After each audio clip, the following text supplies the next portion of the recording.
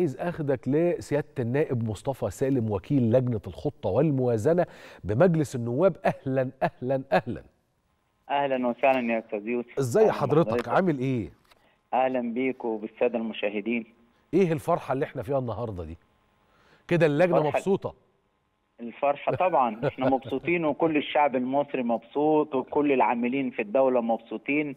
يعني أستاذ يوسف أنا عايز أقول لحضرتك إن قرارات السيد الرئيس عبد الفتاح السيسي دائما ما تأتي في الوقت المناسب. آه. دائما السيد الرئيس يعني بيتدخل للوقوف في صفوف المواطنين في الوقت المناسب. هذه القرارات بتؤكد على التفاعل الدائم بين السيد الرئيس وبين الشعب وشعوره الدائم يعني بصعوبة الأوضاع الحالة التي تواجهها آه، المواطنين.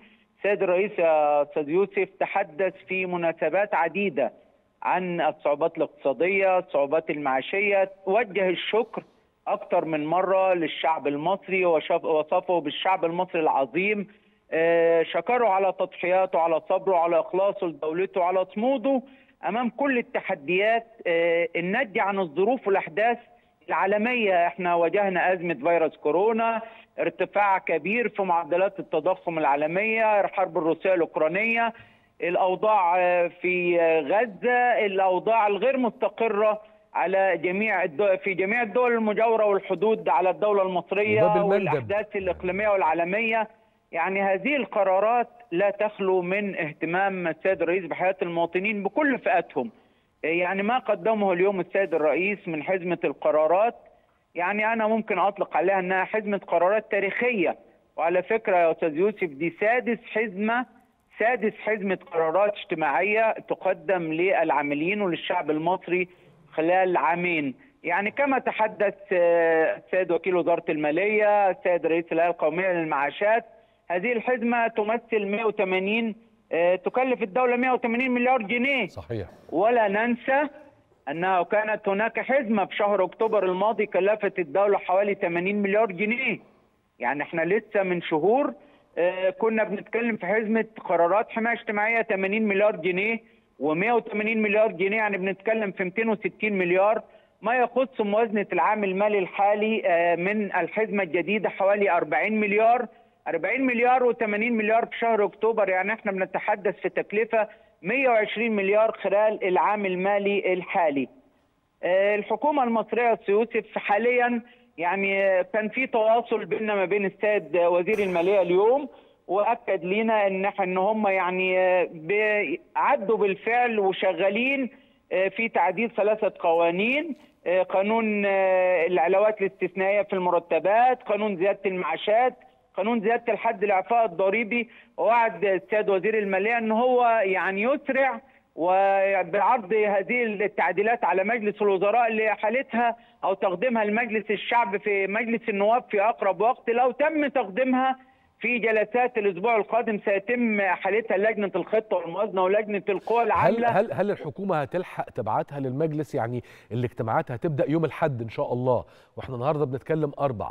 هل تعتقد إن الحكومة هتلحق تبعتها يعني كان في تواصل يعني منذ ساعات بين ما بين السيد وزير المالية واكد حرصه على أن يعني هيعرضها على مجلس الوزراء. آه، قد يستطيع أن يعرضها غدا ويأخذ موافقة مجلس الوزراء عليها ريت.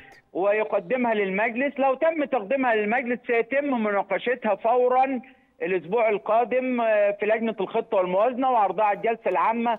توجيهات السيد الرئيس يا أستاذ يوسف أن آه، هذه الحزمه يتم تطبيقها من أول مارس. يعني بمجرد أن يتم حالتها لمجلس النواب سيتم مناقشتها في اللجنة وعرضها آه، واعتمادها لتطبق من أول مارس. أنا عايز اكد على بعض النقاط يا أستاذ يوسف. آه، الزيادات سوف تسري على كافة الدرجات الوظيفية. هتسري على كافة الدرجات في- الوظيفية في كل الجهات يا أستاذ مصطفى يعني مثلا الهيئات الاقتصادية في نلاقي إنه ساعات بعضها بيطبق الزيادة وبعضها لا يطبق الزيادة.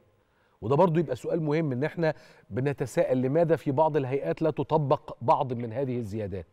إحنا إحنا عندنا أستاذ يوسف المجلس القومي للأجور.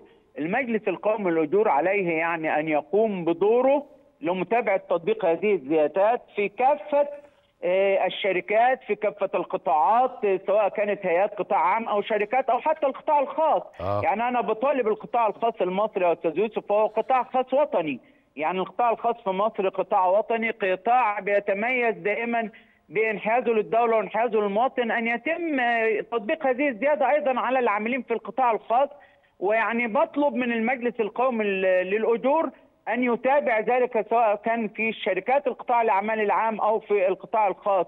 عايز اكد أيضا يا أستاذ يوسف إن هذه الزيادات ستطبق على جميع العاملين في الدولة وفي نقطة مهمة جدا أنا عايز أشير إليها يعني فيما يتعلق بالزيادات الخاصة بأعضاء هيئة التدريس بالمهن الطبية بالمعلمين أن هذه الزيادات بالإضافة إلى الزيادات الطبيعية المتعلقة بالعلاوات بزيادة الحد الأدنى للأجور يعني سيتم هذه الزيادات إضافية بالإضافة للزيادات للعاملين في الدولة لأن توجه الدولة حاليا هو الاهتمام بالتعليم والصحة.